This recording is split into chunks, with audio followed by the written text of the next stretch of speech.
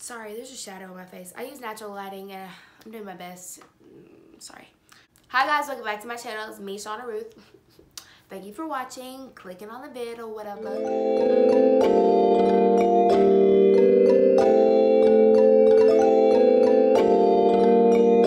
Um, today I'm going to be talking about the Casanova Killer, aka John Paul, or Paul John Knowles. Um, so yeah, let's hop right into this. John Knowles was born April 17th, 1946 in Orlando, Florida. His first crime was when he was seven years old and he stole a bike.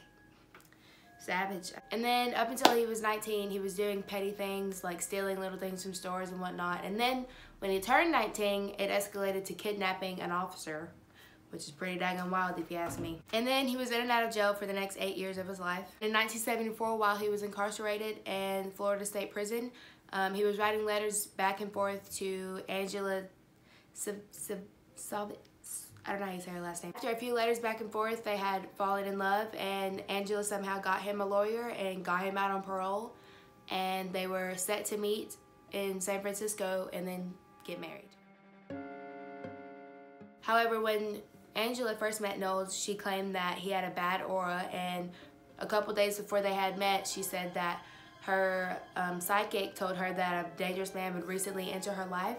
So when she met him, it confirmed everything and she called off the wedding. That same night, um, Knowles killed three random strangers in San Francisco streets. The next day, he went to Jacksonville and was at a bar and ended up fighting the bartender um, and pulled a knife on him during the fight and was arrested. But he didn't stay long because he picked the cell, he picked the lock on his cell and escaped prison.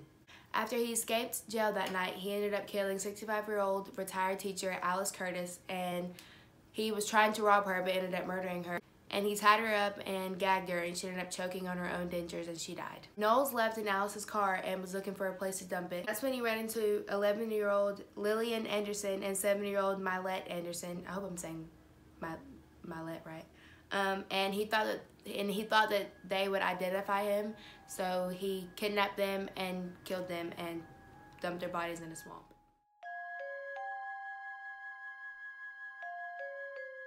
And apparently, um, it was very easy for him to get his like it was very easy for women to like talk to him because he was very charming and apparently at the time he was good looking and over half of his victims were women and the rest of them were gay men. And no one really knows what his sexuality was. I mean, why does it matter? But I mean, he did kill gay men, so maybe he hated gay men or maybe he was gay and didn't like it and he just lashed out on gay men. I don't know. But um, he killed the women because they were easy for him to attract because he was so charming and so good looking. He would shoot some and he would strangle some and he would rape some before and after they had passed.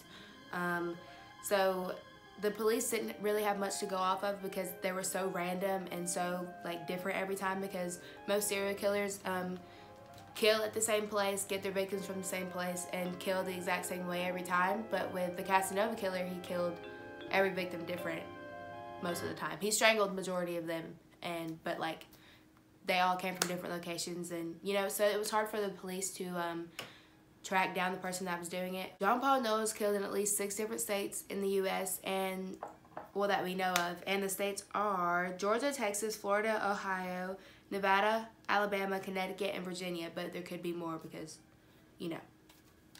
There could be more because he confessed to killing more people than the police had like discovered so there could be more states so the police didn't know what to look for they didn't have any leads they they didn't know if they were looking for a serial rapist or just a random guy that murders people or like a gunman or they still they just didn't have anything to go off of. So Sandy Fawkes, a reporter at the time, gave police the only real lead that they had had.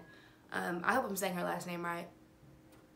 Two weeks before Knowles was arrested, he um, picked up Sandy Fawkes in a bar and they spent three days together traveling around. Um, and she said that she never saw any red flags. He never did anything to harm her or never acted like he wanted to harm her.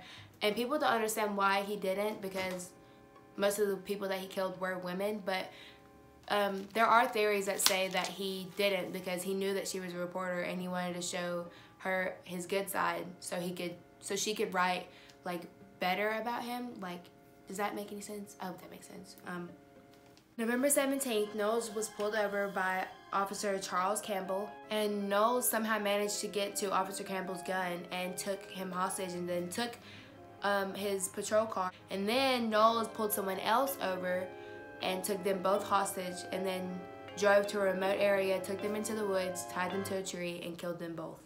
And then Knowles left in the other car, not the not the patrol car, but the like regular car. When Knowles was leaving the scene, he lost control of the car and ended up hitting a tree and police were after him, dogs were chasing after him, helicopters were in the sky, and obviously they had found the two men murdered and tied to a tree, so they were looking for him. And ultimately, Knowles made it out of the perimeter of the manhunt, but he ended up running into a man with a shotgun, and the man ended up turning him into the police.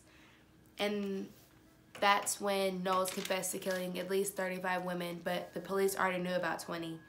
And police attempted to take him back to some of the crime scenes to find out more information. Ronnie Angel and Sheriff Earl Lee guided him around uh, some of the crime scenes. And while they were driving, um, Knowles attempted to take Earl Lee's gun off of his hip in the car, and um, while they were wrestling, the gun went off. And while Lee and uh, Knowles were struggling, um, Ronnie Angel shot Knowles in the chest three times, killing him instantly. Um, the reasons why um, Knowles killed was never discovered, and not all of his victims have been found, sadly. But in 2011, a cold case um, came about, and they tried to connect it to Knowles as 13-year-old Ima Sanders.